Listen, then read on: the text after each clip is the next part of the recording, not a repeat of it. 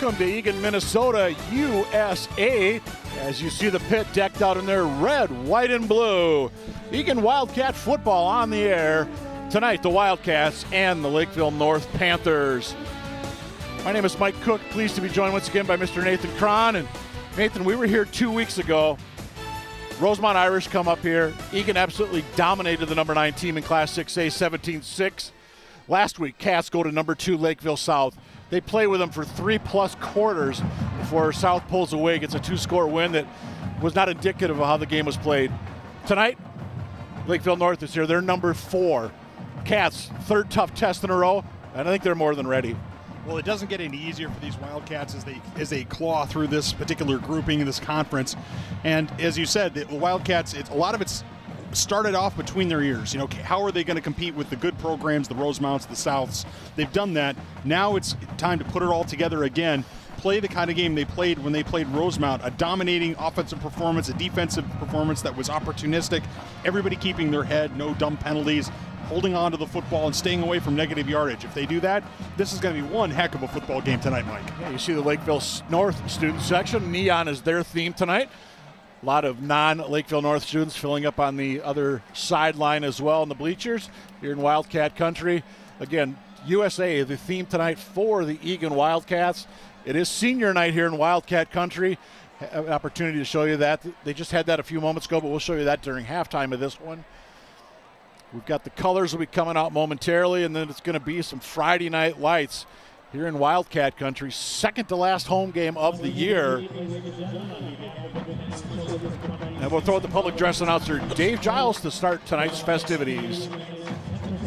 South Subdistrict varsity football game between the visiting Panthers from Lakeville North High School and your Eagan Wildcats. The Lakeville North Panthers will be introduced as a team. Their head coach is Brian Vossen.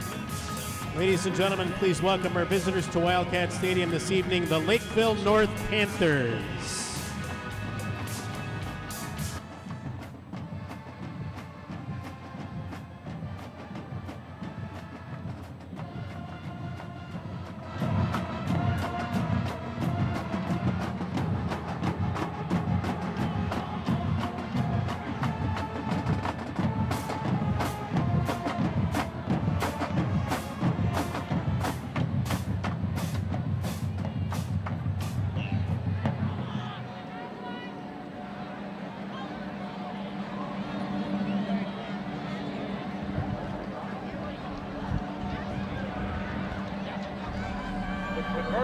that you are right now is a blessing, but it won't take you to the next level.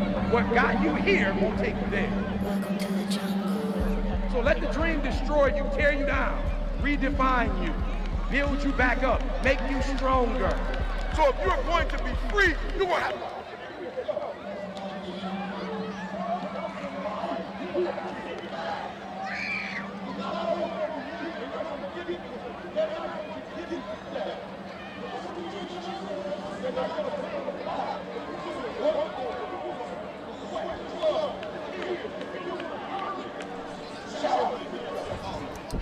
Well, I mentioned it's the Friday Night Lights festivities. You look at the top of that screen. You saw Finer Meats and Eats. They're here. Brick Oven Bus is here. And, of course, the Eagan Wildcats are here. And wearing the home blues, the Cats set to take the field. Jack Hansen, one of many seniors on this squad. Thought with his parents before the game being honored.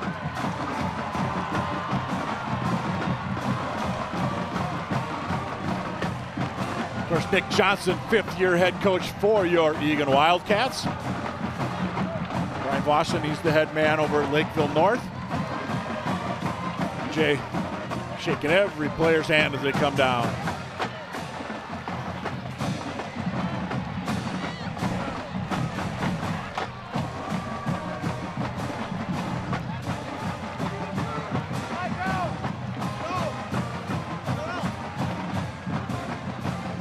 Last of the Eagan group onto the field, including the coaches. See Lakeville North, they're lined up back in the north end zone facing the flag here in Wildcat Country.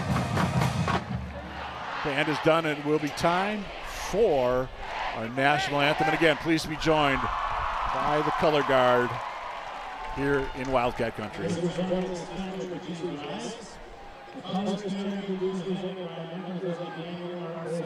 Legion Post 594 of Eagan.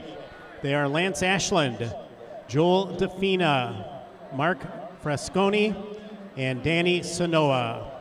Following the national anthem, please remain standing until the colors are off the field.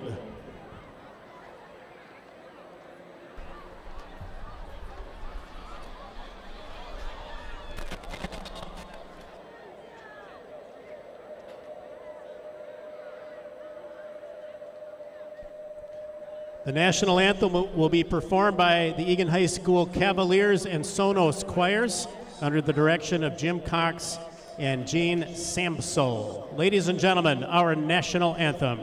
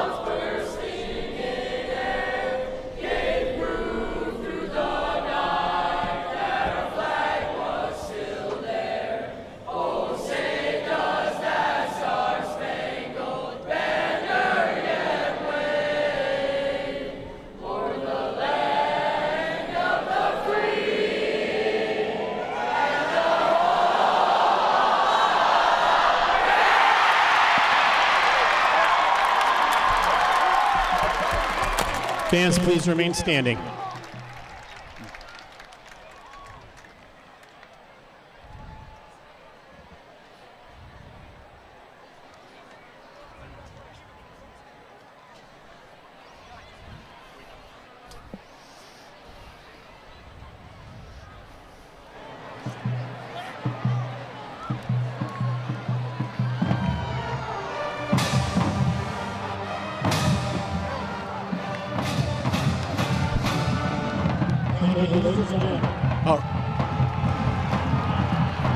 Can hear the Eagan band. They're fired up.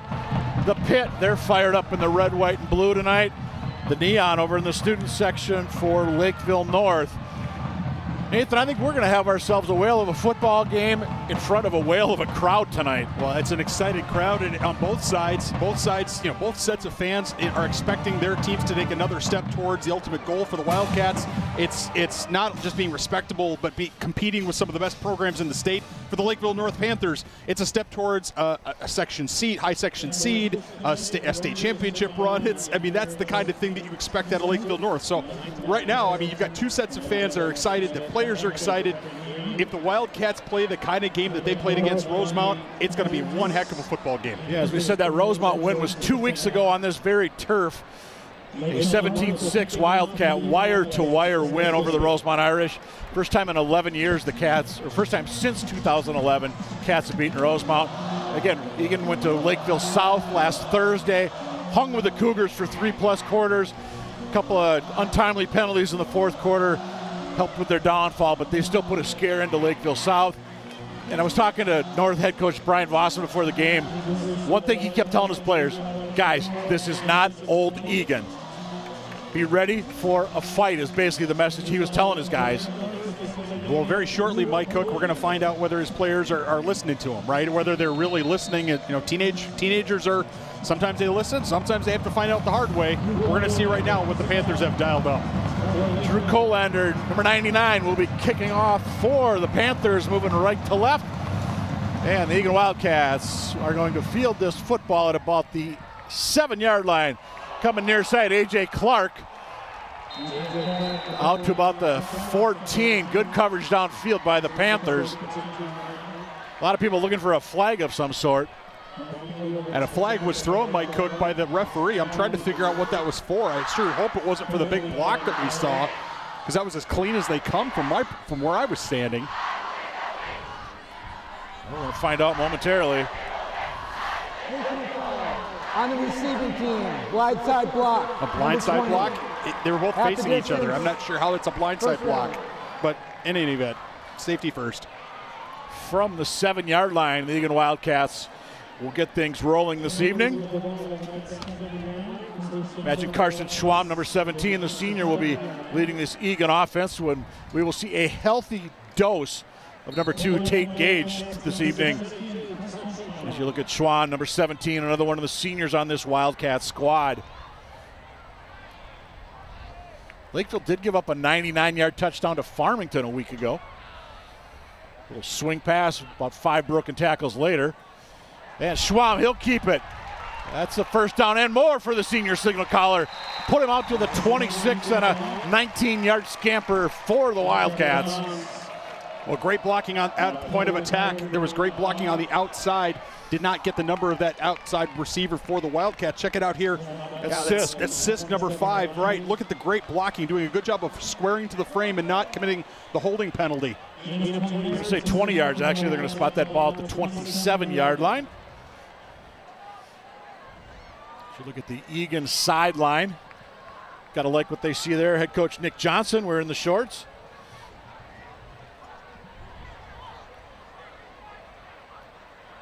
Fresh set of downs for the Cats. Evans was under center that time. And the ball carrier get us out across the 30, maybe four or five yard pickup. It's going to be, of course, number two, Tate Gage. He gives the bulk of the carries for this Wildcat squad. At 92 yards a week ago at South, most of those were in the three and four yard pickup variety. If you see the ball going between the tackles tonight, pretty good bet is number two in blue. Lakeville got back. No, they didn't get back, I don't think. Ison was moved for the Wildcats, but I believe North jumped. And indeed, they did.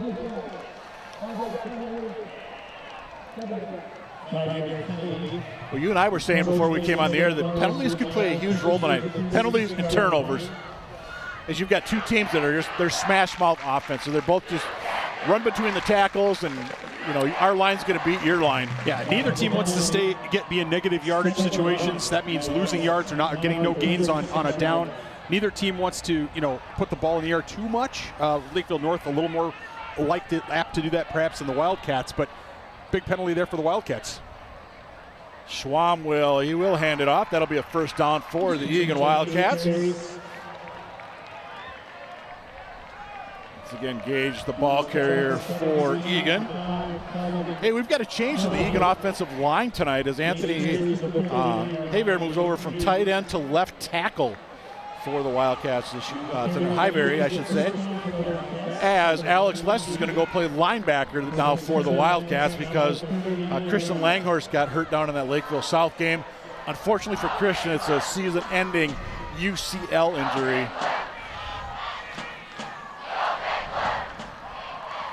Straight ahead Cats.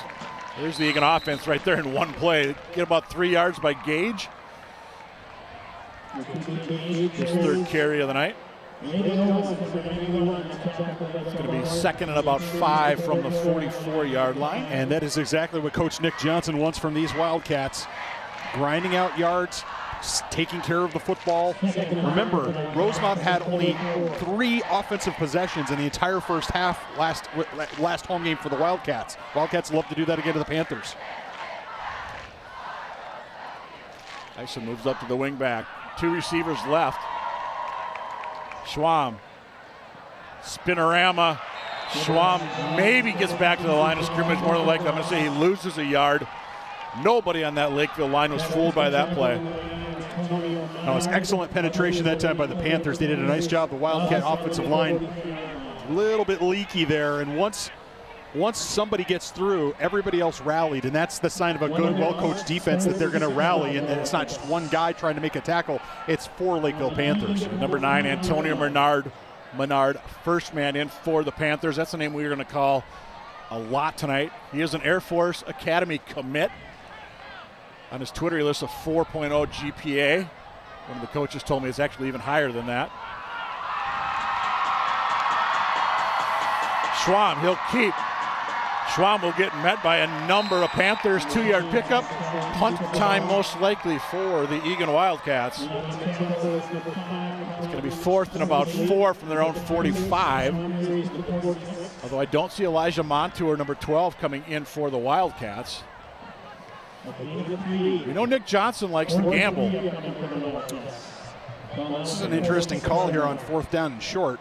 Well, it's not short. It's not Yeah, fourth and about four. fourth and about four. It's not short, but it's it's an interesting call. No no question about that. But hey, if, if you can't get four yards, then you know give your chance, give yourself a chance to get four yards here. Or do you try and draw the Panthers off once again? Could certainly do that. Two receivers right. Ison moving around. He'll come back and go to the wing on the right side. Ison goes back in motion. Schwam maybe audible at the line. Cats, yep, gonna be a delay game on Eagan. Yeah, or timeout. Or timeout taken by the Wildcats. timeout taken by the Wildcats. So that was just an attempt to draw them off. Imagine they'll they'll try to punt the ball now. Well, at least I would imagine they would. I don't know if you're gonna. Wouldn't you just take the delay if you were gonna punt it? Go back five? Well, why'd even take the delay? Why Well, not just punt I, the ball? I agree, but that's why we're up here. Nick Johnson and the Eagan coaching staff. That's why they're uh, the big time decision makers. Well, try to get them to go, you know, jump off sides. They already did it once earlier. We're gonna have a punt. That's fine. You know, you you've moved the ball. You got you've got one, two. You've got two first downs. Uh, you move the ball out from the shadow of your own goalpost. You're gonna flip the field if you can. If you can cover this, get a decent punt, cover this well. You know, Lakeville. You know, Lakeville will have to drive a little bit for you. Lane Johnson, the man back deep for the Panthers. Fake, fake. Cast, did they get enough? It depends on the spot. It is going to be close. I think they're short. The near side referee. No, they are. The near side referee says, "Look, I think he says first down." Oh, The near gonna- side referee, look, that nose of that ball looks like it's on the 40, might be touching the 49. chain time. Yeah, they only had to get to the 49. We'll see. It's going to be And close. it was Gage on the carry. You and I are lined up at about the opposite 45 from our view, so we've got a little bit of an angle as we look at it. it's going to be close, no question about that.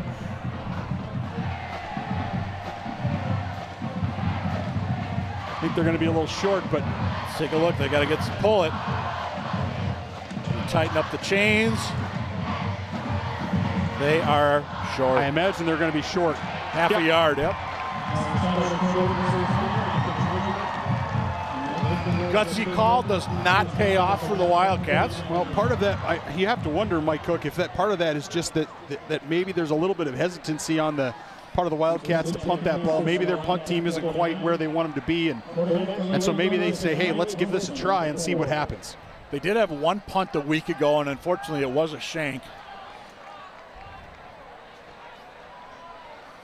But uh, you know, I think you also got to look at it as you're trying to set a tone here.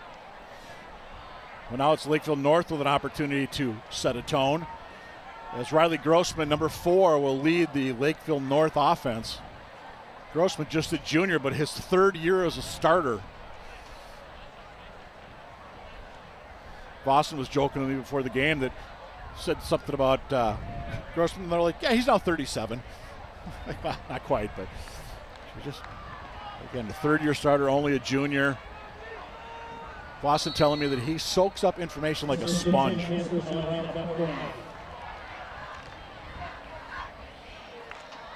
And they're going to go to the air first down. They got a man far side. Ball is up. Ball it falls to the turf just off the hands of number 12, Johnson.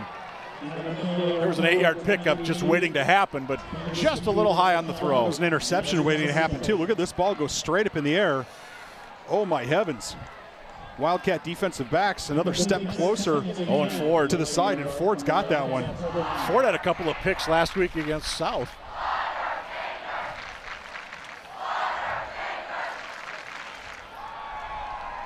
Out of the eye for the Panthers. Seven and a half to go, opening quarter. Wilkie straight ahead. Wilkie, that's a first down and more. 24 for 12 on his first carry of the football game. And that's that's that's the Lakeville North offense right there. You just run between the tackles, and they said this kid is so tough, so strong. He will just, he will continually break tackles And he's one of those kids that as the game goes on, he gets stronger. So we'll keep Well, an eye on that tonight. Well, he certainly showed it there. That was that was excellent technique. The offensive line did a nice job of getting a block at the point of attack. Wildcats saying that ball came out. I think that's I think that's a bit of a wishful thinking on the Wildcats' part. It's only going to be a 10 yard pickup. They spotted at the 36. First down either way. That play looks familiar. Only got about five that time, actually, maybe four. But again, Wilkie, the ball carrier.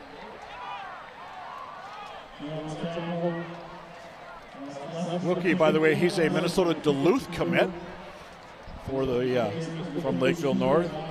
Runs a 4.540, benches 315. Uh, vertical of about 35 inches, according to uh, his Twitter page.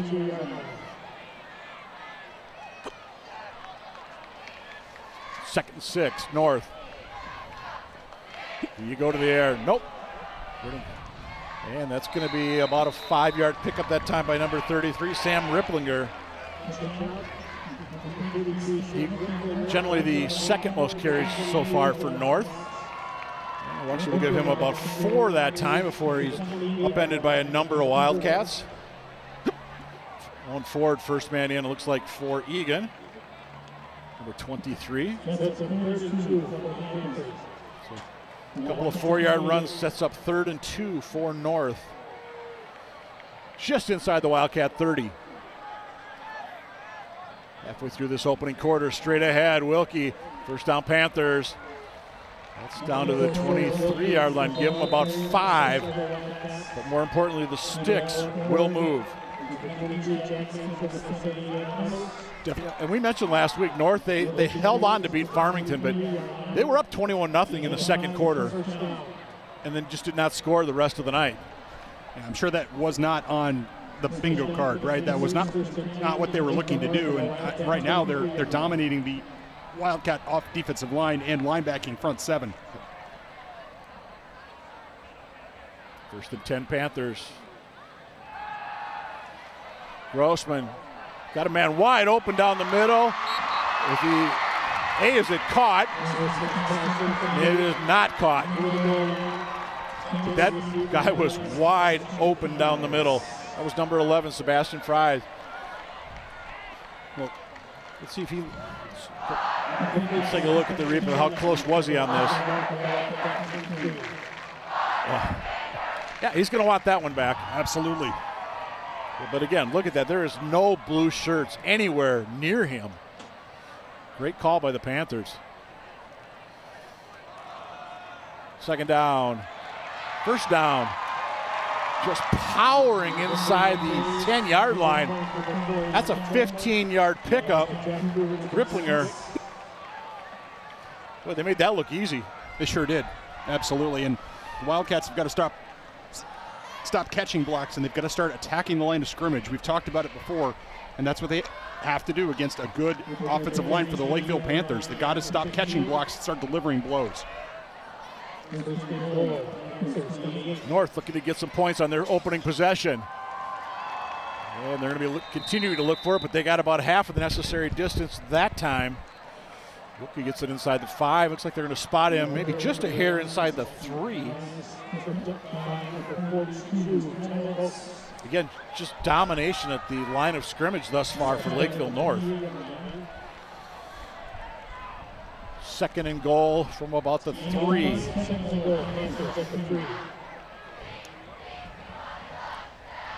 Wilkie does have three rushing touchdowns this year.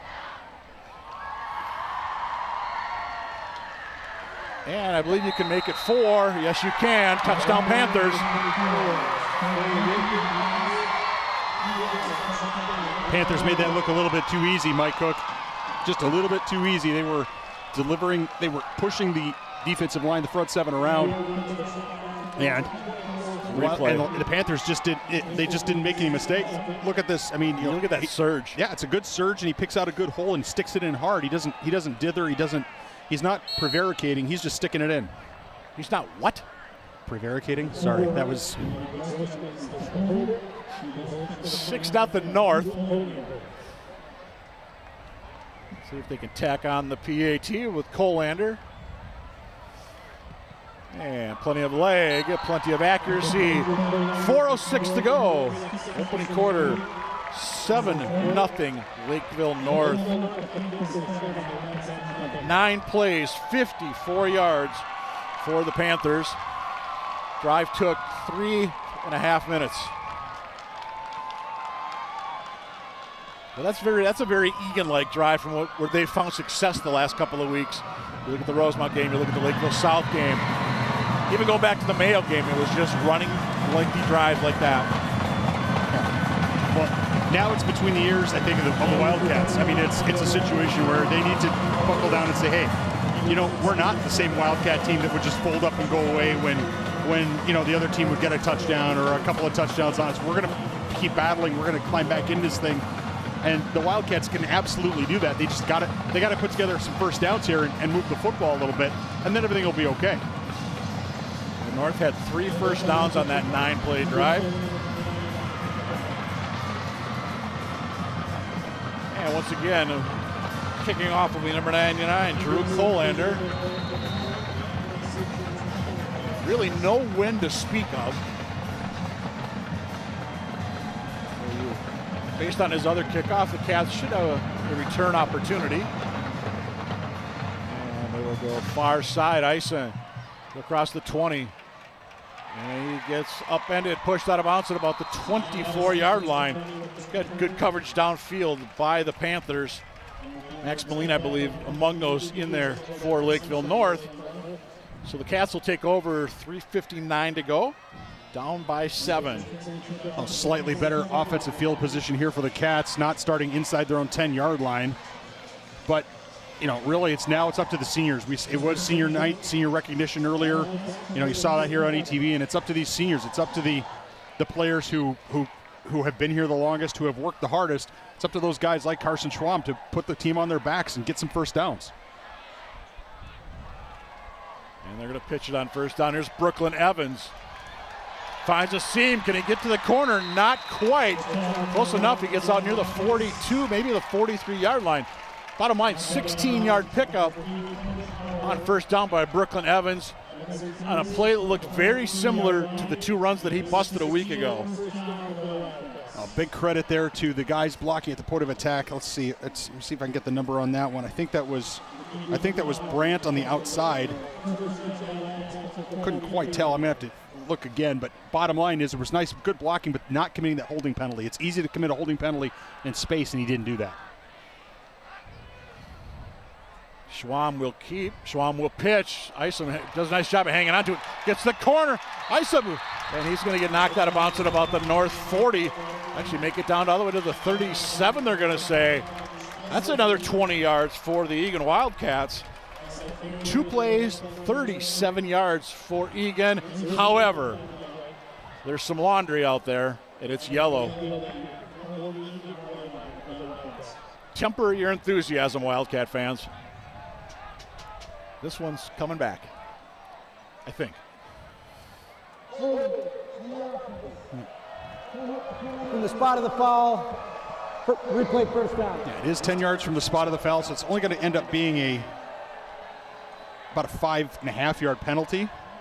Bottom line is it knocks out a 20 yard run. It does. It does. It turns into a five yard penalty, but it, it knocks out the 20 yard run and it knocks the Wildcats off schedule. And that's right. That whole, probably based on where that flag was located, was right at the point of attack, Mike Cook, and that's that's going to get called if it's if it's there. They're going to call it. First and 15. And we'll be second and 15 as Lakeville North all over that. Reese Hunt, number seven, among others in there for Lakeville North. Play said, look at that, first man through 48. Boy, he busted his way through quickly. That's uh, Emmanuel Hardy from his linebacker spot, a senior for this Lakeville North squad. They get second and 15.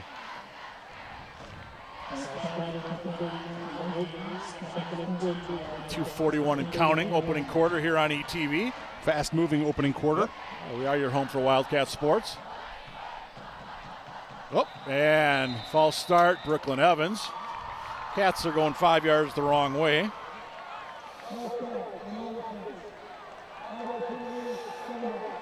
don't generally like to call out guys, but that one was pretty obvious who it was. At Well, the, yeah. the wide receiver spot. When, yep, everybody at home could call the penalty just like the referees. You know, you too can be a referee. You, you can watch this play and call a penalty, but the worst now it's second down to 19 and an option offense. This is not this is definitely not where the Wildcats needed to be. Nope. Second and 19 officially. Cats have no receivers in the set. They're going to pitch it near side. Brooklyn Evans.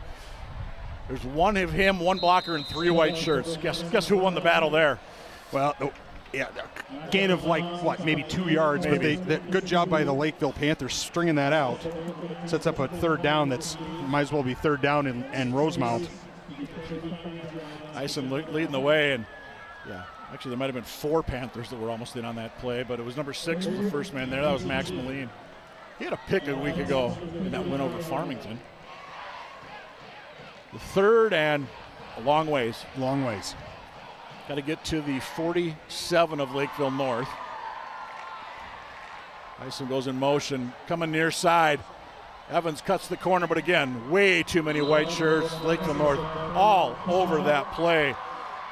Number, uh, Aiden Forsgren, first man in. Number two, minimal pickup for the Cats, and it's punt time. We think.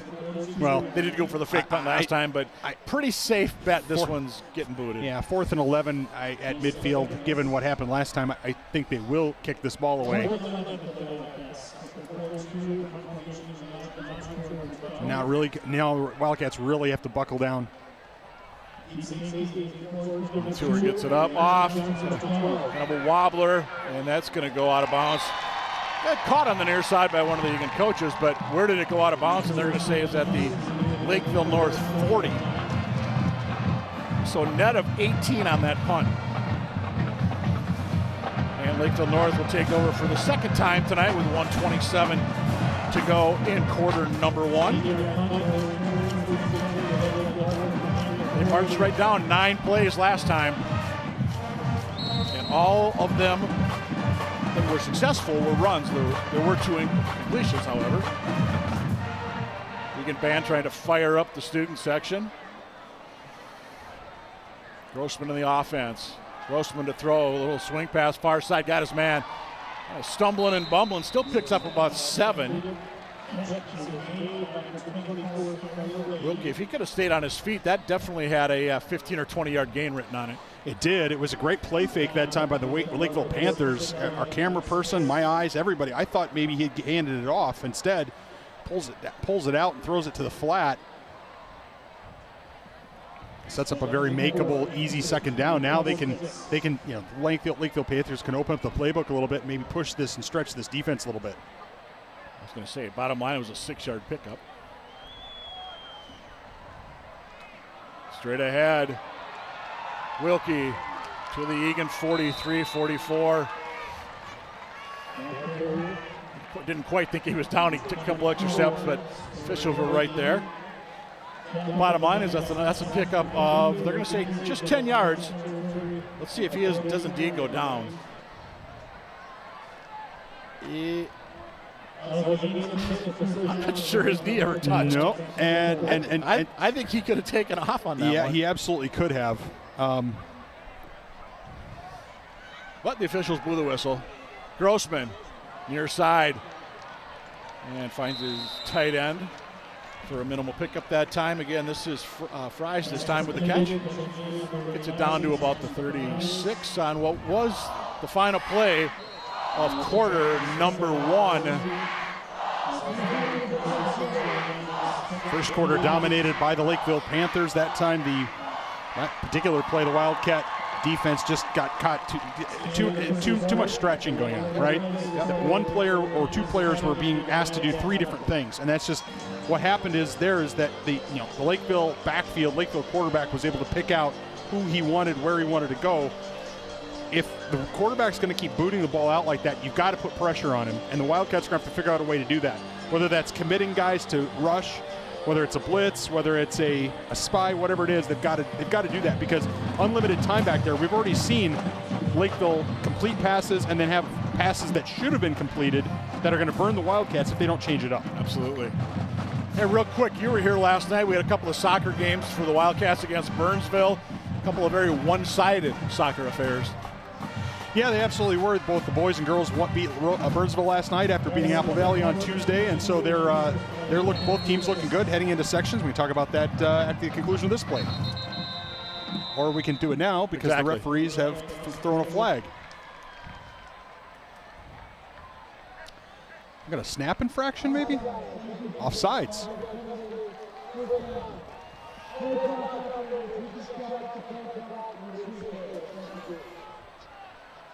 Well, you come out of the quarter that is all Lakeville North, and the Cats just helping them out right. They're in the first play of quarter number two with a with a first down. Yeah, we talked about avoiding penalties and holding onto the ball. The Cats have done one and not absolutely not done the other. Grossman, fresh set of downs. Near side, Wilkie. Somebody lost a helmet out there. That'll get him down inside the 10, oh, the 15, down to about the 13. See, Somebody lost a helmet, but bottom line, 18-yard pickup, first down in the red zone for Lakeville North. Already up by a 7-0 count. Take a look at that replay. Just blocking at the point of attack. You got Wildcats getting knocked flat on their backs. That's that's just not going to get it done. They've, they've got to do better. Excuse me, better job of attacking the line of scrimmage. Yeah, that was Menard, number nine, leading the way for Lakeville North. Fresh set of downs from the 13. Straight ahead. Again, inside the 10, inside the 5. That was 33. Ripplinger gets it down. Looks like about a nine yard pickup on first down.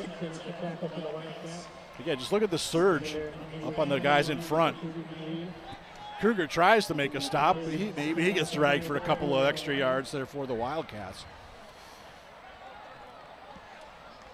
A lot of options in the playbook right now for Coach Brian Vossen. As you look, well, you saw him briefly in the gray shirt. Second and one. We're going to send one guy wide to the left, top of your screen, top left of your screen.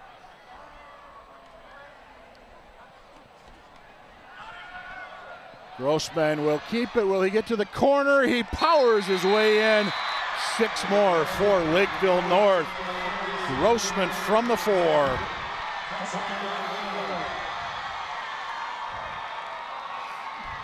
Just a nice call and a nice job on the fake. A lot of Wildcat players bit. Lakeville North really making it look easy, Mike. And the neon. Yes, things are definitely bright for the neon student section of Lakeville North with a 13 0 lead. Here we are early quarter number two. Will this one make it 14? Yep. Six plays, 60 yards for the Panthers. 14 0 Lakeville North in the lead. Maybe quick finish your soccer story from last night with an opportunity. Yeah, both teams heading into sections looking pretty pretty strong. The uh, Wildcat girls uh, are within an eyelash of claiming the conference title, as well as the number one seed in sections. Uh, Lake Wildcat boys, uh, second place right now in this conference, uh, probably looking at a top two or three seed in sections, and uh, so both programs really on the up. Hard to believe soccer playoffs are what, two weeks away? They start on October 12th. And you know, we said it earlier in the broadcast. This is the second to last home game of the regular season for the Wildcats. Back here in two weeks when Forest Lake comes to town for a homecoming affair. Next week, the Wildcats are at winless Farmington. But that's cut. Yes, Farmington is winless, but they played North tough last week. Played Rosemount tough last night, only lost by eight to the Irish. Well, yeah, they might be 0 5, but it's not going to be an easy trip down to Tiger Country for the Wildcats. Lakeville North, they get Mayo next week. I believe that is the Panther homecoming. Just a reminder that we ETV is planning, planning, mind you, to cover the Wildcat soccer teams if they have home playoff games. So check your local listings for showtimes near you. Ison. Across the 20, he's got a head of steam. Out to about the 27 yard line. His helmet went to about the 38. And Cats, this will be their best starting position of their three drives this evening. Actually, we'll be out at the 30. Let's see, we got to get a football down. Actually, they're going to put it all the way out to the 37. Well, this is a drive that the Cats need to get something going.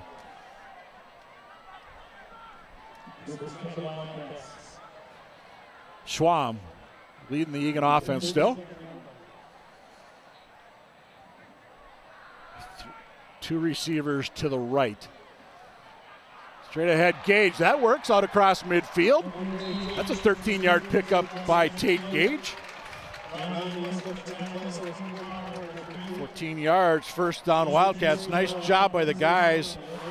Can't tell who that was from the right tackle that pushed in. Really created that hole for Gage. I believe it was it might have been Jack Hansen. Cole Number Will, 78. Cole Will, 55, getting onto the second level, which gives the running back the chance to make a, a short gain, a longer gain. Yep, Tyler Boats over there, tight end, number 42. Straight ahead, Gage. Again, there goes that pile. Nice pickup, six yards there on first down for Tate and the Wildcats.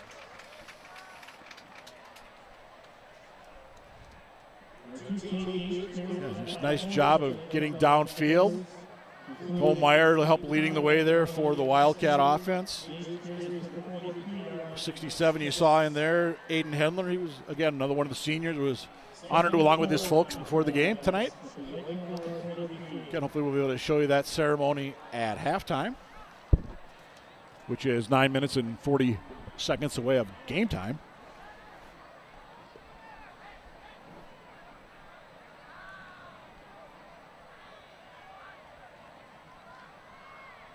And nope, nothing doing that time.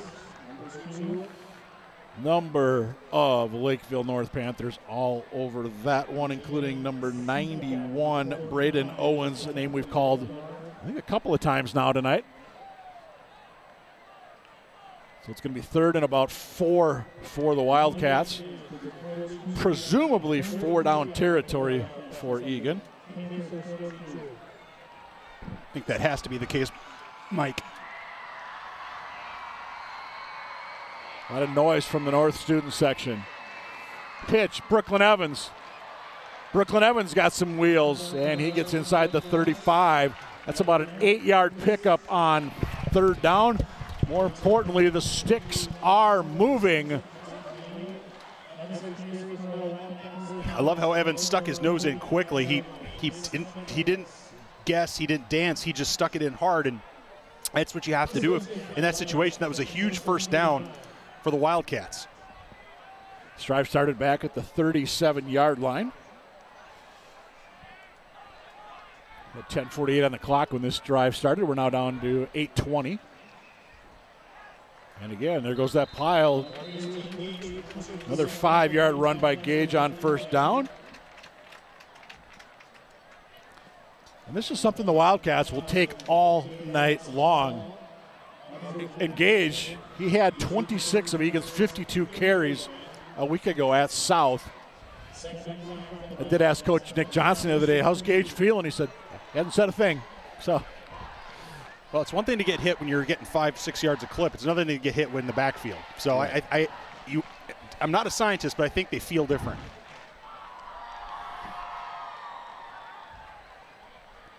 and it's going to be third and about three now for the Wildcats. Minimal pickup that time. We had a number of Lakeville North Panthers were on there to go- gobble up Schwam. Dorian Addison, uh, 6'3", 265, number 95. You cannot miss him out there. Ah, he's a big boy, in Schwam. You know, we saw in, in you know again the last game we broadcast here from Lakeville, excuse me, Lakeville, from Wildcat Stadium. The Wildcats against Rosemount Irish had a number of quarterback sneaks on fourth and short, third and short. That was a that I wonder if that was a test to see what kind of uh, you know what what they can do on a quarterback sneak in a short short yardage situation. Straight ahead. Assume it's got to be Gage. That should be a first down Wildcats. Actually, Nick Tesdahl, his first carry of the football game. I, I was wondering when Nick was going to get a carry. Does a nice job of getting in there every once in a while and kind of letting Gage get a quick blow. So first down at the 24 of Lakeville North. By far, best drive of the night for the Eagan Wildcats. Six and a half to go, second quarter here on ETV. Again, we are your home for Wildcat sports.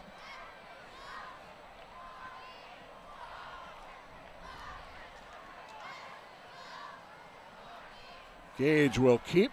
Gage will fall forward to maybe get a yard. Sega on the stop was Tesdahl actually again. So, all right, so one yard that time for Tesdahl. Two carries on the last two plays, total of four yards. Nice to give Gage a bit of a rest there, you know, and give him a chance to, you know, catch his breath and kind of get ready mentally for the next handful of next series. And Tesdahl does a nice job of sticking it in hard too, and he's a little bit, a little bigger shoulder pads than Gage too, so maybe maybe moves that pile a little differently. Didn't say better, didn't say worse, just differently. Two receivers to the right for Schwam and the Eagan offense. Gage will not get to the 20 yard line. He's gobbled up. Looks like first man in there for Lakeville North. Check. Number 53 is his first tackle of the football game. Jack McKinnon. Kernan. Third down and about six, I would think, for Eagan. as you said before, Mike Cook, it's probably four down territory. So if you know that, that helps you on third down, right? It helps you. It helps you think about okay, we only need to get four or five yards here. We, if if we don't get a first down, we get five yards. We're still okay. Sam Sisk, top of your screen, number five, had three catches a week ago. Evans, yeah, that play should work pretty well. Brooklyn Evans, that's a first down. Down near the 10 yard line goes number 11. First down, Wildcats. Sticks going to move once again. Fourth first down on this drive for the Eagan Wildcats. Nice job by Ison and Sisk to the outside blocking. Again, it's so hard to block and not commit holding penalties because these defensive backs are shifty. They're, they're, they're going to spin. They're going to do whatever they can to get off your block. And if you hold on to that block, you'll commit a penalty, right? And they did a nice job of staying within the frame, moving their feet, not letting the guy spin off. They're going to say nine yards to the 11, so you can get a first down without a touchdown. Gage says, the heck with that. I'm going to score from there. And he does not. Remember that first down without a touchdown? I think that might have just happened. It doesn't happen very often. No, it does not. It doesn't happen very often. As you see, Gage probably a little frustrated. Watch him go over the right side here. Good full block to the inside. Ison, yep. I think his bottom was down. Yeah, it's a good. I think it's a good call. Yeah, we're going to see some great camera work from our award-winning ETV crew. I don't know. I mean, geez. yeah, I think the bottom hit before. Yeah, I, I think if we had VAR, we might overturn that. You know what? Just just give him the ball right here.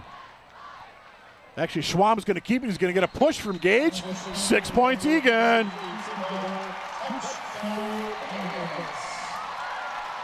Well, a trend that started with the Rosemount game. Carson Schwam pushing it over from one yard out, Mike Cook, and now we've we've seen it now three times in a row for the Wildcats. I like Gage though behind it. Give him that push.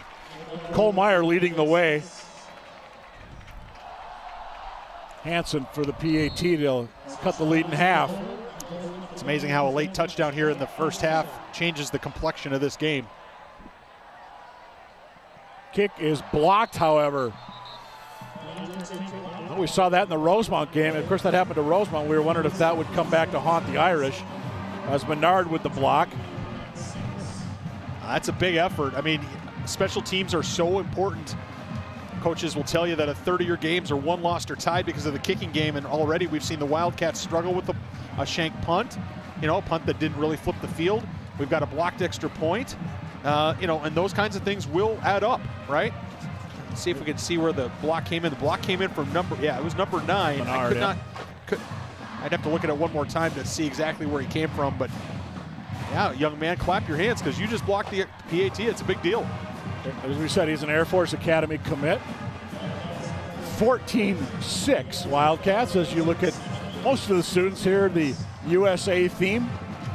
Of course, when they're back here in two weeks for homecoming, it'll be school spirit colors. See a lot of green and blue and silver and white. Should be a packed house that evening as Forest Lake comes back here.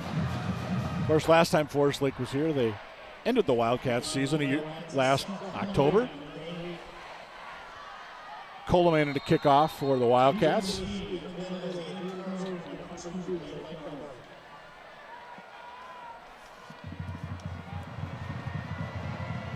This be Forsgren back deep for North as the Cassius Puchet out of bounds.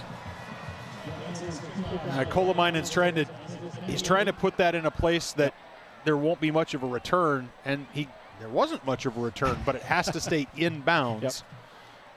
Otherwise, the uh, otherwise the Panthers get some really great field position. I think it's the is it the 45 yard line? 35. 35 yard line. Yeah, that that almost worked at South a week ago. There was one kick I remember in particular that kick out of bounds. South barely Ball recovered at time. 35 yard line, first down, Lakeville. So 3:32 to go in the opening half. Panthers up 14-6. North also is going to get the ball to start the second half. Critical drive here for the Wildcats. Got to keep the North off the off the board. I was going to make sure you don't let Lakeville North double dip, so to speak, with late first half and then one right away in the second half. It's a good start for that Eagan defense. Wilkie gets wrapped up by a host of Eagan Wildcats. Bennett Larson, among others, in there wearing the blue. Maybe a pickup of about three. North has all three timeouts. They're not going to be in any hurry, right? They want to keep running. You know, they want to get a first down, get across midfield, and then figure out, okay, do we want to throw this ball? Do we want to go deep? What do we want to do? Hey, I want to give credit. That tackle was Hans Anderson. I believe that his uh, might have been his first tackle of the year for number 92, the Eagan Jr. Happy birthday to Hans tomorrow, by the way. His dad Josh had a birthday earlier this week. Busy, busy week in the Anderson household, no question about that. Absolutely. Uh, it's good gang tackling there by the Wildcats. It's still a gain. Got about three. Yeah, it's still a gain, but you know, it's third and five is is you can line up and play third down. You can't line up and play third down if you let him get eight. Yep.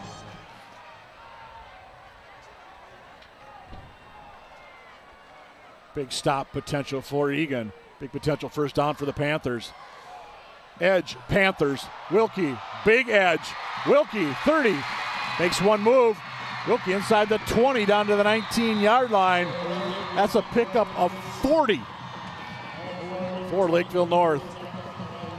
So just when you think the Wildcats have got something going, maybe getting not getting a stop, but you know maybe getting a stop, and our our replay shows a little bit of a little bit of naughtiness in the offensive line there. There's a little bit of holding up front there. Uh, and when I mean a little bit, I mean a lot. But it, that but that doesn't wipe away a, a brilliant run by Wilkie. Officially, it's going to be 39, and they're going to spot it at the 20. Potato, potato, whatever. Ripplinger that's a first down inside the 10. Just bouncing to the outside. Kruger with a stop for the Eagan Wildcats. But Kruger's in the secondary. Cats got to be getting to these backs before Kruger is forced to make the play. Actually, they're going to mark him a little short of that first down. I thought maybe he had the first down, but they're spotting him at the 11. So uh, if I was Coach Nick Johnson for the Wildcats, I might get a timeout here because you know after this play, if they don't score, I'd get a timeout and, and slow my guys down and give them a chance to get a breather. Okay, you see the clock ticking bottom of your screen, 109 and counting. That's the first down. Down to the five. Clock will stop while they spot it. Ripplinger again, the ball carrier. Six. Hanson with the stop.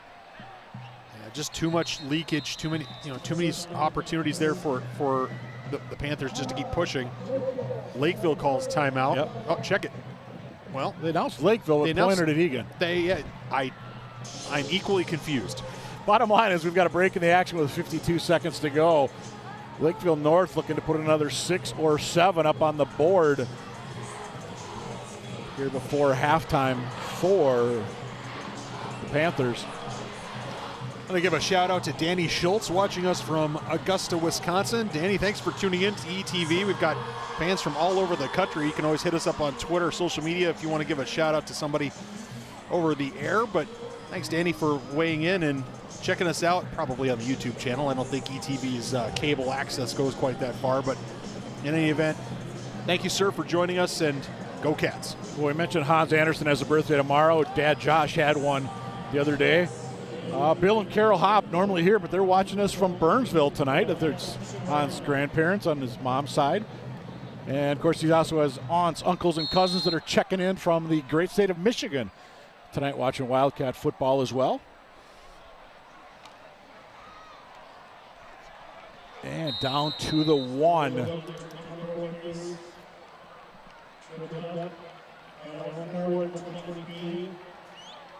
40 seconds. Clock continues to roll. And Menard just leading the way, big number nine. Tick, tick, tick. 27 seconds to go in the half. Wildcats have got to attack, attack the line of scrimmage, not catch blocks. Grossman straight ahead. He gets a shove from behind. Is he into the blue paint? No, he is just shy. Timeout taken by Lakeville North. 12 ticks to go. Well, that was a heck of an effort by the Wildcat. Absolutely. Wildcat defense. I thought for sure that that was going to the end zone. Number 50, Alex Less is in there. He moved. This is his first game at inside linebacker as he moved, moved over from the tackle position. Carter Will also on the inside for the Wildcats. And you see Nick Johnson talking to one of the officials kind of on the top center of your screen. I'm not sure what that's about, but with 12 seconds to go. Yeah, I want to give at least one more shout out. I know we're they're watching us from the Marriott Hotel in Piscataway, New Jersey tonight. Steve checking in from the Marriott. Well, glad you're with us in the shadows of uh, NYC as it's USA out here tonight. Would like to see the Wildcats call a timeout here as soon as the Lakeville Panthers line up. Call a timeout. Call a timeout. You can't take them with you. Call a timeout here Absolutely. and think about it some more. Third and one, Panthers. Wilkie cuts it up, untouched, touchdown, Lakeville North.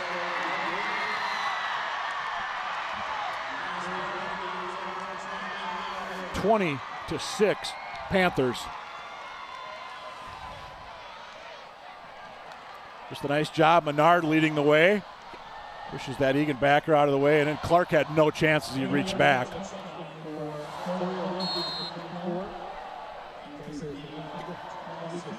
PAT upcoming.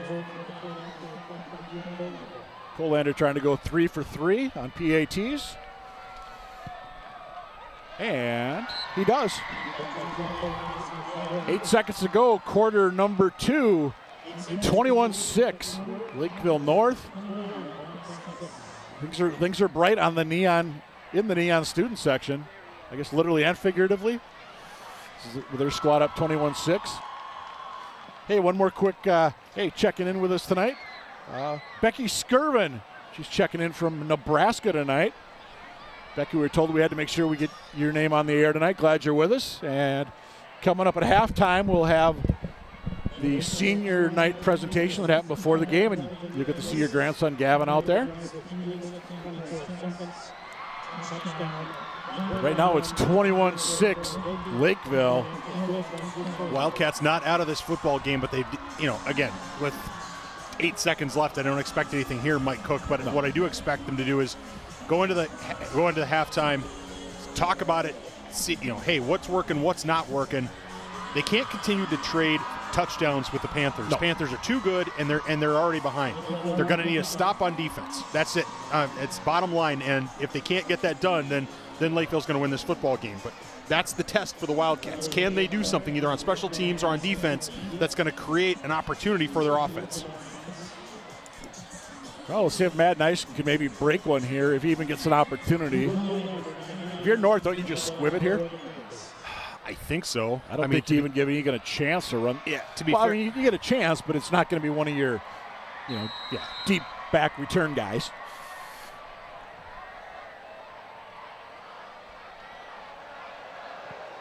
A little pooch kick, and that will be Clark's going to have to field that.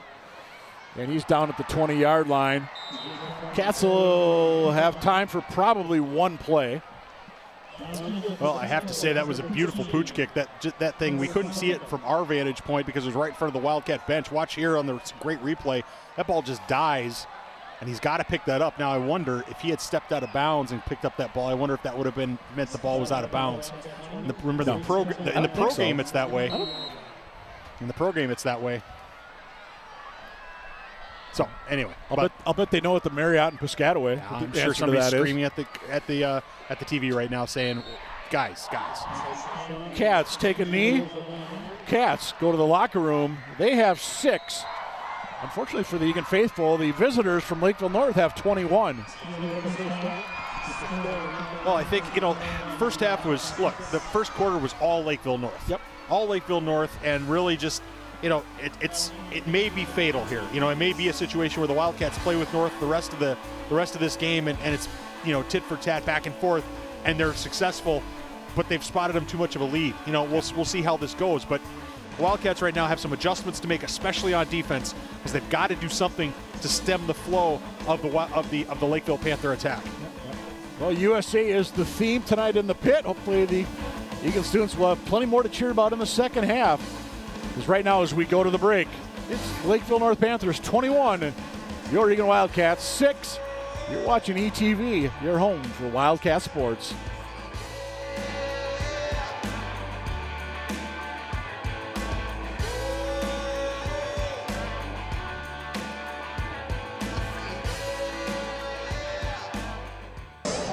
Our seniors as we start with our 28 senior football players. We'll introduce them in numerical order.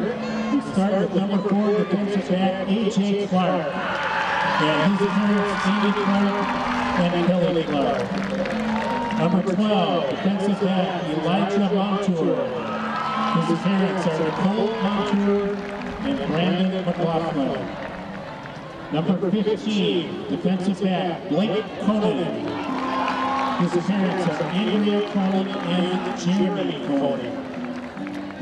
Number 16, linebacker Gavin Herbach. His parents are Krishna Herbach and Keith Herbach. Number 17, quarterback Carson Schwam.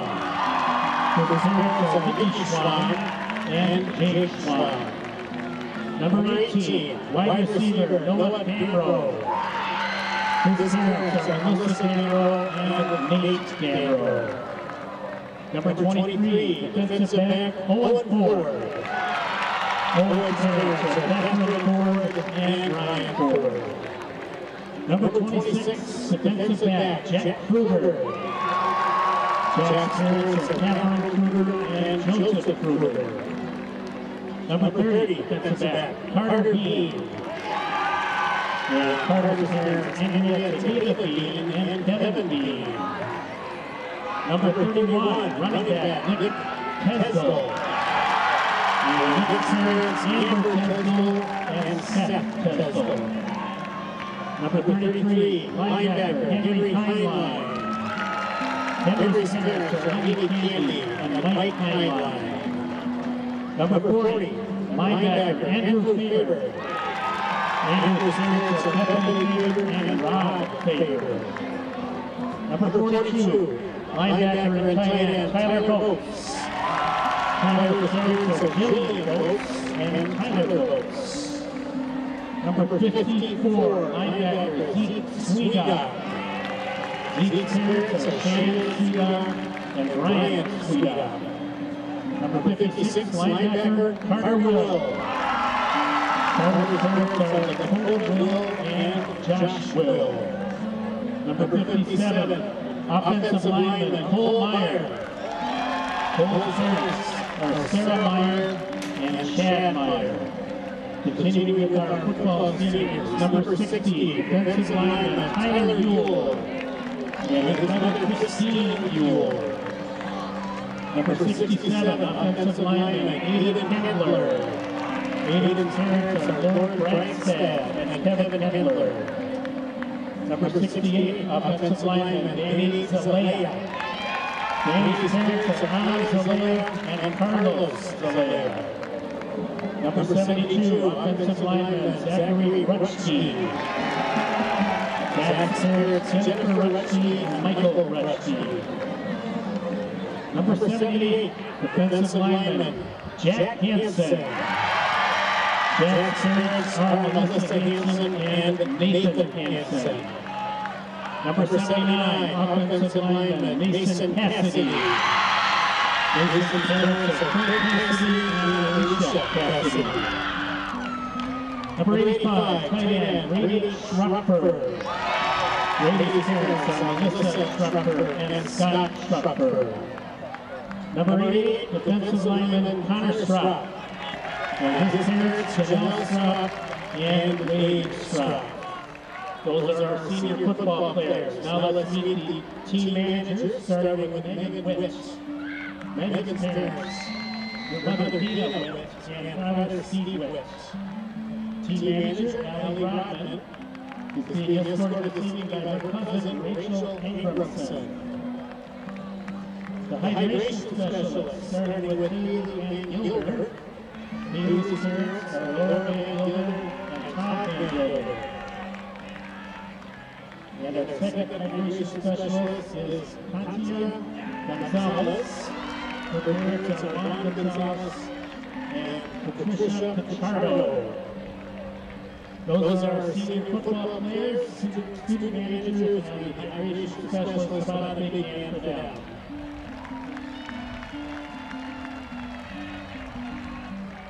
Football players will now join their teammates in the locker room we will head out to the field now.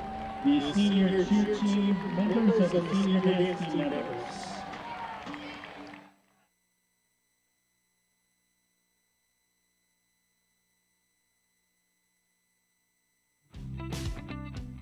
Today we're doing the annual Cats vs. Cops where we play a 7 on 7 game against the cops here in Eagan. This was actually an idea a couple years ago of our police chief, Roger New. He said we should play a touch football game, and him and our former president, Jack Esser, made this happen. Myself and another community member, uh, Jack Esser, were thinking of ways to try to bring the community together. And he said, Would you be interested in playing flag football uh, against a high school team before the season kicked off? And I said, Yeah, why not? And three years later, here we are. Just an opportunity for us to give back to the community, get a chance to connect with our local police officers and the way they've been able to do stuff for the community for us. It's a chance for us to have some fun out there and play what we do on Friday nights with them. One of the most important parts about this event is just trying to bring the community together. We never knew that it was going to grow to this extent, but uh, we're glad that we could just be part of this event, and uh, we just appreciate the community support. Our police force is awesome. And for us to be able to do this with them, I think is, is just, it shows that they're looking for ways to be out in the community. So we come together and we play seven on seven and we have a blast out there. I love anything we can do to build that relationship. They do so much for us. So it's a great way to give back to them. And, you know, it's a night for them to take off doing their duties as police officers and enjoy being a high schooler like we are and having some fun playing some football. We're the Eagan Wildcats, but like, we're all Eagan. We're all one team. It's a great event and it's a lot of fun.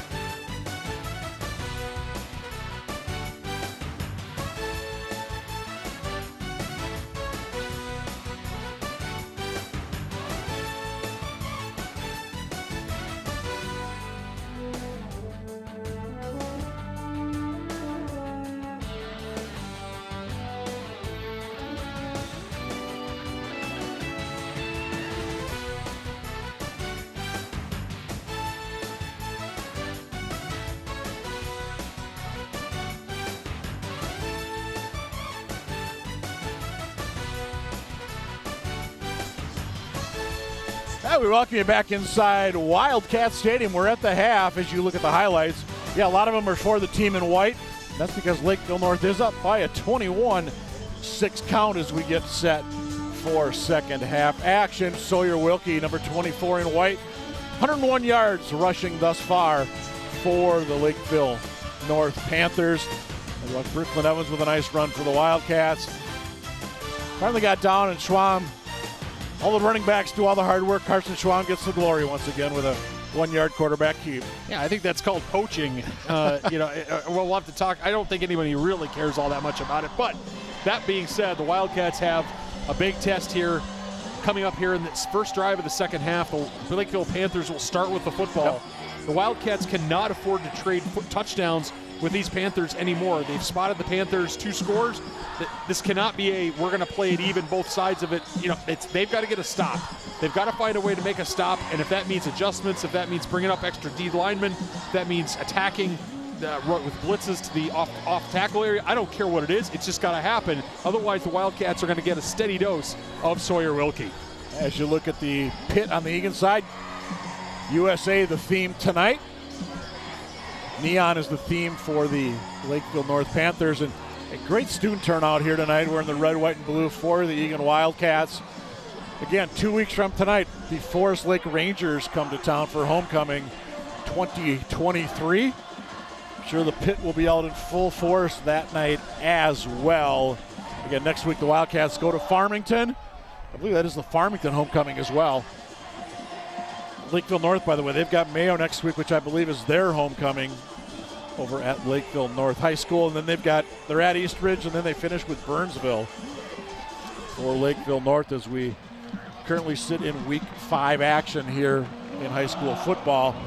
One thing to keep an eye on in this half weather is going to get, is on the way. We were looking at radar, a couple people are talking about it. There's some there's some colors on the radar that are moving this way. And they're not green colors. No. They're red and yellow colors. And so ladies and gentlemen, you know, stick with us as long as you can. Uh, we're going to broadcast as long as we can. Um, the concern, of course, is not so much rain, it's lightning. Yep. And if we have lightning strikes or lightning, visible lightning in the distance, uh, there's going to be a 30 minute countdown from the last lightning, visible lightning. And yep. uh, so we might be in a situation where late in this game, maybe in the fourth quarter, uh, we, we have to address that issue. Well, let's hope not. Let's hope it does hold off, although we've been told some of the games in the West Metro are currently in weather delays, and uh, looking at the radar, it's, it's moving this way. So, uh, fingers crossed we can get the bulk of this one in. Cats are going to kick things off to start half number two. Now, Mike, I was going to say, if we take a look at the pit there, having a good time, the resurgence of this Wildcat football program has made a positive impact on the high school community. I think that's fair to say. And it's not, and again, we've talked so many times about how this isn't just a football game, it's a community event, right? We've got food trucks, we've got marching bands, we've got dance teams doing things, we've got all sorts of stuff going on. We've We've got you know productions you know coming up for Eagan High School. They've got the Midsummer Night's Dream coming up uh, in October, the first week of October. The senior preview on the fourth, with shows on the fifth, sixth, and seventh. Uh, of course, there are presentations and, and uh, plays and uh, know, theater presentations at the other high schools as well here in the fall. And you know, it's not just a football game; it's a community event, Mike Cook, and that's where we're at. 100% agree with you, Nathan. And as, as North's going to field the kickoff at about their 15-yard line, and they'll start back at about their 30-yard line. And you mentioned the dance team. We didn't we weren't able to record it, but at halftime you had the junior dance team or the dance team clinic kids that were out there as well. So a lot of elementary school students out there with the high school dance team. Kind of a nice thing to see out there. And before I forget, I want to give a shout out to the Eagan High School Choir. Did the national anthem at yesterday's Twins game. I don't know which choir it was, or it was all the kids, and I'm guessing it was all of them because I'm going to guess there were 150 kids out there. But nice job by the Eagan choirs. The anthem at yesterday's Minnesota Twins game the Central Division champion, Minnesota Twins. First play of scrimmage here in the second half. Lakeville North going to get about four. Watch the left guard come across, make a nice block there on the against the white. That was Michael Anderson coming across, making a nice trap block. That time on Alex Los. Less, yep. less. sorry. My eyes are not what they used to be. No, it's L O E S S for the last name, and it's I know I've said it It's as Les. well, and I've been told it's less. It's only our third game of the year for you and I. Yeah. First down and plenty more. Wilkie outside. Can he get past Clark? He does. There's another busted tackle. From the 34 of Lakeville North to the 29 of Eagan. That's a 37 yard scamper. And that was some ugly, ugly tackling by the boys in blue. Uh, one missed tackle, two missed tackles, three missed tackles, uh, three and a half missed tackles. I mean, it's guys, it's it's you know, it's just not going to work. You, you, we cannot do that. The Wildcats have got to wrap up. He's too good a runner to do that. I get it that he's a good runner, but you got to go for his hips. Stop trying to tackle him around his his his shoulder pads. Grossman to throw it. He's got his tight end on the far side, and he avoids a tackle, gets down to about the 10 yard line. That's roughly an 18 yard pickup that time for number 11 in his third catch of the game for Sebastian Fries. It's a 6'3 junior. Checks in at 220. And they're going to spot that ball at about, actually about the 12, so give him 17. Well, you run well, and then your quarterback's able to do the bootleg out to the side, and he was he had all day out there, Mike Cook. He, he could have even taken it off and run it himself. Wildcats are really on their heels. Benna Larson, that Eagan defense, looking to make a stop. Grossman, Grossman, end zone, got his man in the corner. Did he get his feet in? He did. Touchdown, Panthers. Wayne Johnson with the catch. I, I, it's, I mean, this is an incredible catch, and I sure hope our ETV crews got it. Let's see what we can see here. Maybe slow mo it down as it gets closer. He catches the. I don't know how. No, that no. Uh, I want to see that left knee again. Yeah, I don't know. I, I, I can't tell for there from there. It's, it's, it's, it, it's a touchdown. The referee said it's a touchdown, but it's, it was, it was close call. Yep. It's, it's one of those where if they would have called it the other way, I don't think you you could make a, a solid argument either. Yeah, to be honest, I to be honest, I think the receiver kind of got up. He didn't immediately celebrate, Mike. I think maybe he thought, eh, I don't know if I was in or out. In any event, it's touchdown. You were in. It's 28 6. And we'd mentioned before that drive Lakeville North started uh, with about three and a half to go in the first half. Potential for a wraparound right around halftime. Well, they went down, they scored. Got the ball right here, less than two minutes. They scored. It's 28 6 North. Well, And the wind is starting to pick up a little bit here in Wildcat country. Well, if the Wildcats were looking to uh, to write an interesting story and have a massive comeback, they have. Congratulations, they've got the first half of that story. Uh, now they need to get the second half Yep. of that story up. Yep, absolutely. I'll give another shout out. Mike and Tony Tuttle probably checking in from Dallas once again tonight. Both Thielen's grandparents. So we've had Dallas, we've had Texas, Wisconsin, New Jersey, Nebraska. I think that's it for all the all the states we've got covered Well, tonight so far. tonight. Tonight, yeah, and those are the ones that we know of. Well, it's which we're in the third quarter here, Mike. We're what? We're in the third quarter. Third quarter, yeah. We still have time. I think it's at first quarter. No, no, no, no. 28 6. And this one should be returnable. Barely. Ison nearly stepped out. Gets it near side. Tiptoes along the sidelines. Gets out near the 40 yard line. Nice return by Eagan's number 20, the 5'9 junior. And Ison's one of those kids, I just keep thinking he's going to break one. Oh, he absolutely is going to break one. The question is, when's it going to happen? Right. I was surprised. Look at that, just- a little disappointed that actually he fielded that ball, but then he makes. But the great thing there is that I think the coverage had flowed to the middle, thinking if he catches this ball, he's going to head to the middle where he's got more blocking. Instead, he goes right up the right up the sideline. Cole Meyer, your center. Carson Schwam, your quarterback. Straight ahead. I should say off the left side. Minimal pickup that time. Number seven, first man in for Lakeville North is Reese Hunt. It's a couple yards that time for Gage. Well, Hunt did a nice job that time of closing down. There was good interior blocking that time by the Wildcats. You saw at the top of your screen, but from the outside, here comes number seven to ruin Tate Gage's day. Yeah, one yard. Of, they're going to say on the run. He was down at the 41. Bullet switches to the right side of his tight end spot. Sisk, your lone receiver. Gage, your running back, gets four, we'll call it. Gets out near the 45 yard line. Third and five. Now, just looking at Sam Sisk before that play up at the wide receiver position, nothing even anything near his way tonight.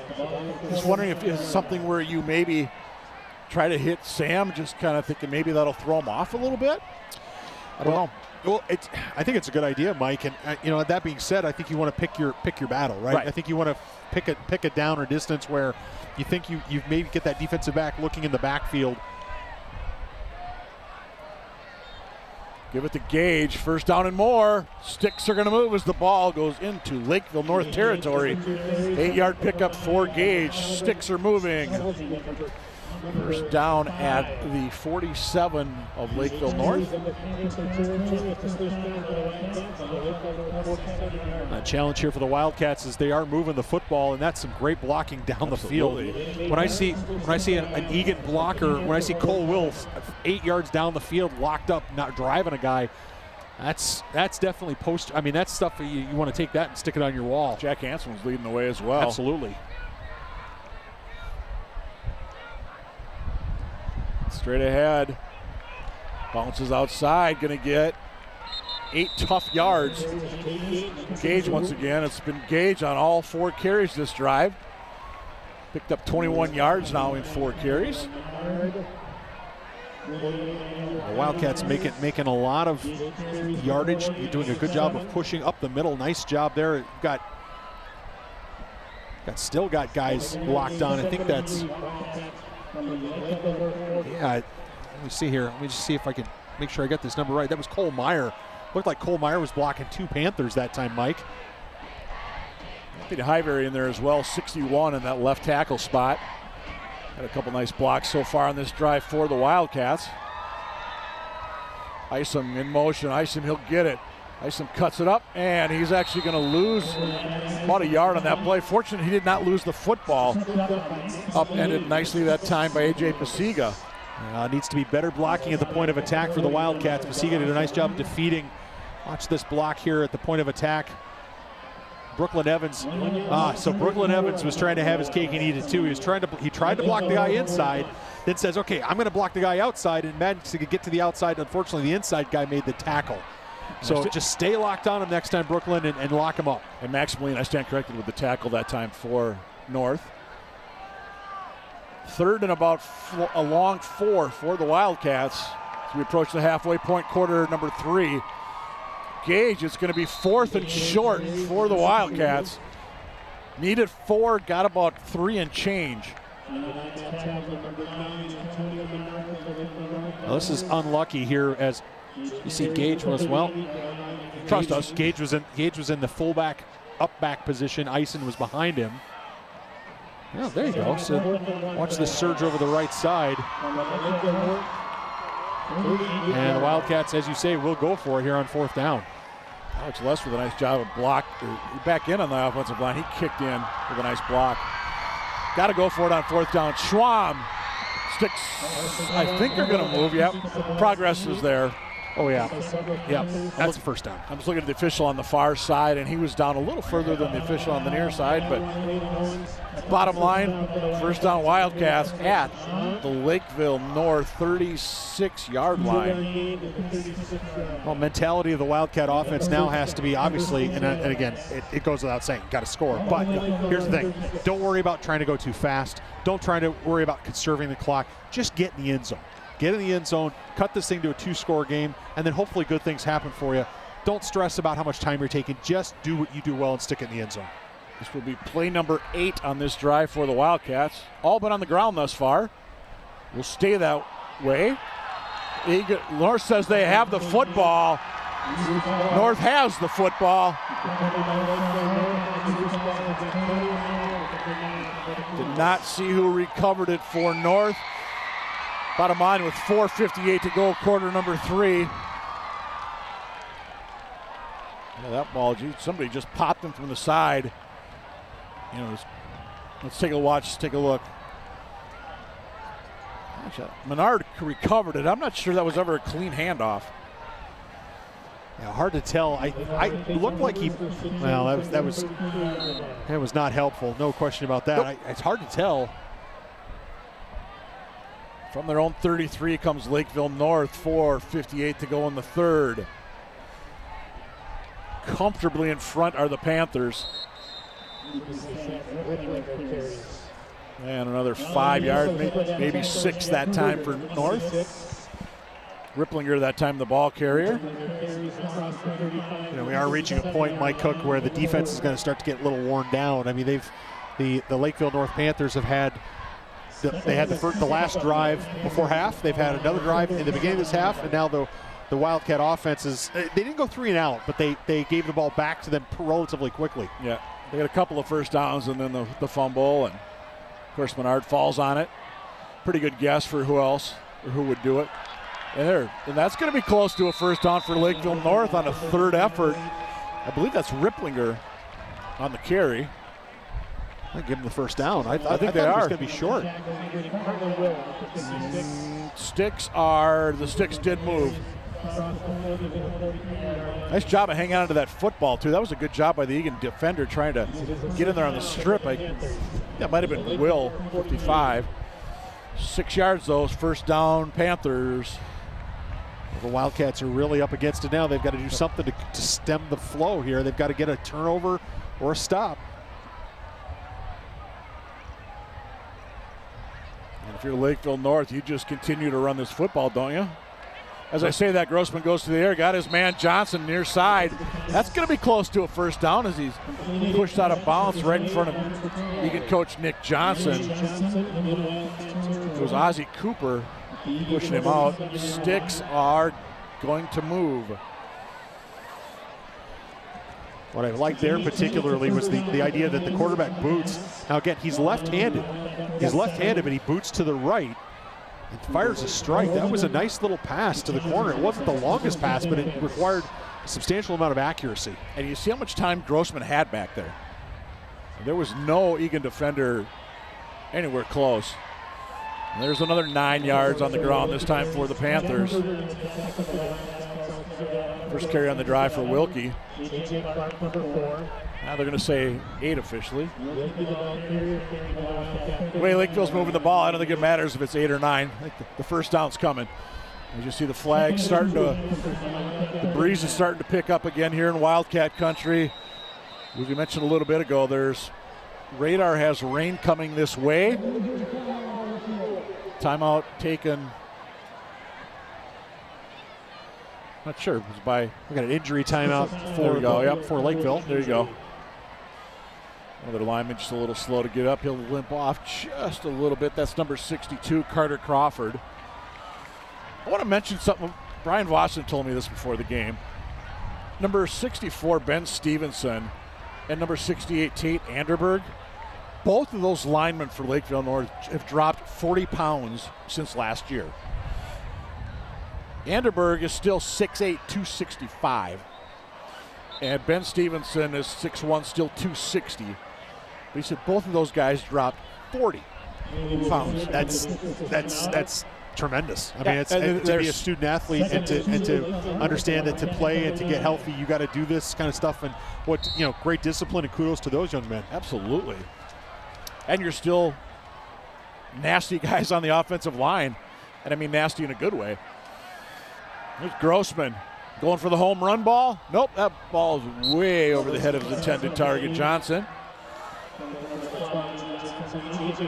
Well, in contrast to earlier opportunities, Connor Strop was was knifing through. Uh, of course, with his size, it's not really knifing; it's more like bludgeoning through. But I mean, he was he was putting some pressure on the quarterback. Yep. Clock will stop. Third and two, upcoming for Lakeville North.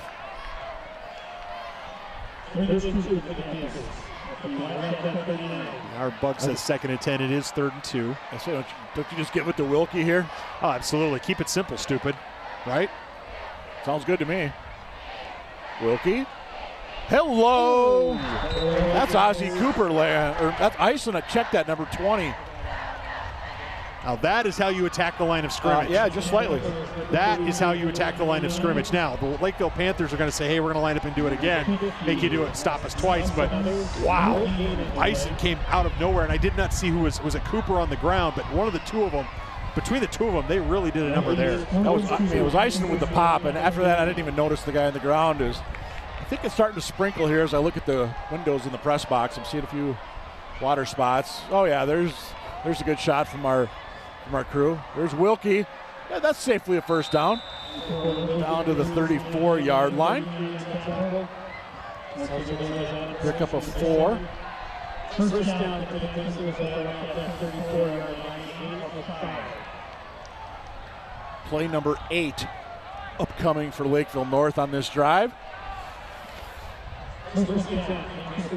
As the Eagan student section apparently getting ready to melt as the men of them are starting to stroll out as the raindrops come down.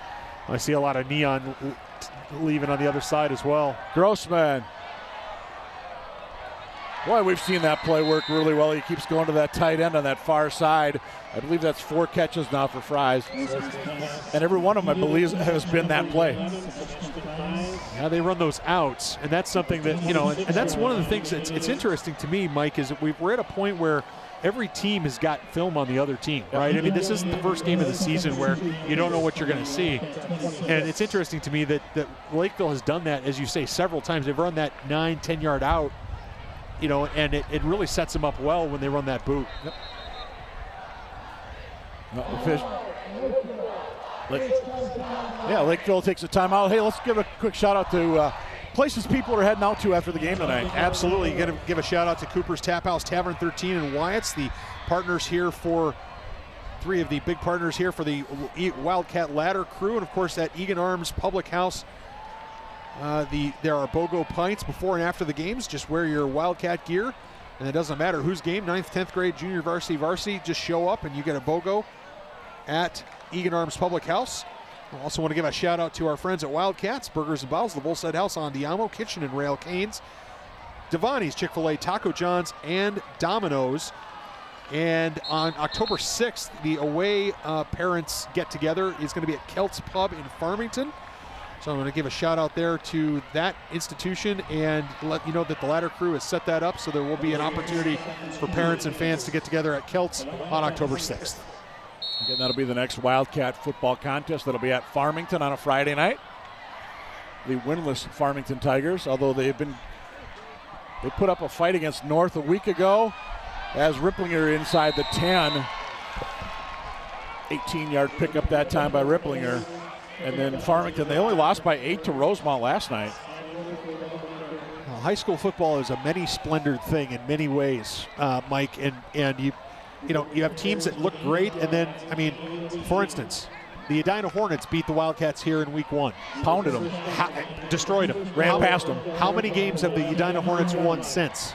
I believe they were one and three coming into tonight. That's correct. So they had lost the next three, as you see the weather starting to roll in and people deciding, yeah, maybe I need to start heading to the end of the car. You sure it's the weather? I think it's the weather. Okay. Grossman rolling near side. Little sidearm. And another catch for Freeze. Then down to the five. Again, just nice job of using his tight end tonight. A pickup of, yeah, give him maybe three. Clock does stop. Pushed out of bounds, Tyler Boats. 33 in there for the Wildcats. Henry Heinlein linebacker. Well, the Wildcats, regardless, you know, and the reason I bring up Edina is, you know, the Wildcats after that Edina game, Mike Cook looked like they were in real trouble, and then came out and took care of business against Mayo, took care of business against Rosemount, played a Lakeville South team very, very tough. They need to rally now. Ripplinger to the one, maybe the one and a half. And what I mean by that is they need to rally, they need to be mentally strong and realize, hey, this is a situation where, you know, we're going to play this game out. We're going to do the best we can. We're going to get some more points on the board, maybe. But at that point, it's time to, it, you know, it's time to focus on the next opportunity. And that will be the end of the third quarter. Lakeville North does not have to run another play. 28 6, Panthers leading the Wildcats after three here in Wildcat country. You mentioned it earlier, too. Don't forget, folks, coming up, Eagan High School presenting a Midsummer Night's Dream October 5th, 6th, and 7th here at the high school. October 4th, there'll be a senior preview. For tickets and more information, be sure and check out the Eagan High School website.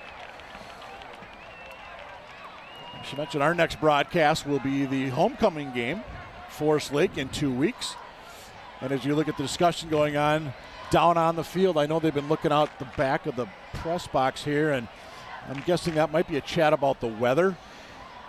Well, in two weeks, uh, the uh, Forest Lake Rangers will The be Rangers. coming. Will be coming to town. Uh, next Thursday, next Thursday, ETV will have boys and girls varsity soccer against the Lakeville North Panthers let's here see. at Wildcat Stadium. Let's see if we have an announcement here on the anything. Looks like we're going to keep playing.